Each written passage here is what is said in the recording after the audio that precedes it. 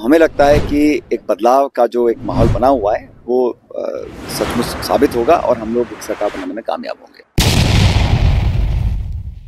मंडी लोकसभा क्षेत्र में हैं और यहाँ पर एक तरफा माहौल कांग्रेस के पक्ष में है और एक नौजवान हमारे साथी को पार्टी ने उम्मीदवार बनाया है।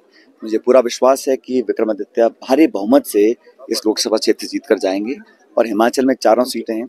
चारों सीटों पर हमारे उम्मीदवार बढ़त बनाए हुए हैं। देश में भी आज माहौल जो है, बदलाव का माहौल है। और मैं बार बार कहता हूँ कि जहाँ जहाँ कांग्रेस, बीजेपी की सीधी टक्कर है, वहाँ पर कांग्रेस के उम्मीदवार बेहतर परफॉर्म करेंगे, चाहे वो राजस्थान हो, मध्य प्रदेश हो, छत्तीसगढ़ हो, हरियाणा हो, उत्तराखंड, हिमाचल, हर जगह।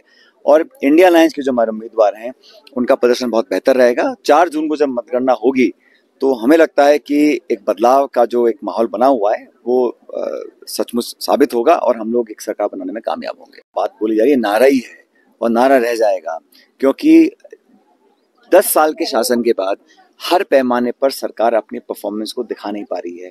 करप्शन हो महँगाई हो, बेरोजगारी हो, हर क्षेत्र में पिछड़ी है। इसलिए विवादित मुद्दों को बार बार हवा देते हैं।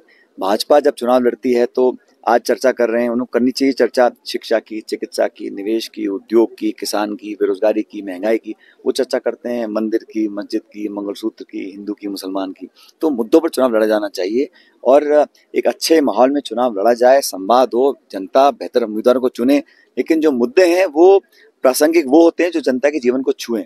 भाजपा की कोशिश रहती है कि हमेशा एक आड़ बना के रखते हैं। पर्दे के पीछे से वो भावनात्मक मुद्दों को हवा देते हैं और जमीनी मुद्दों से दूर रहते हैं।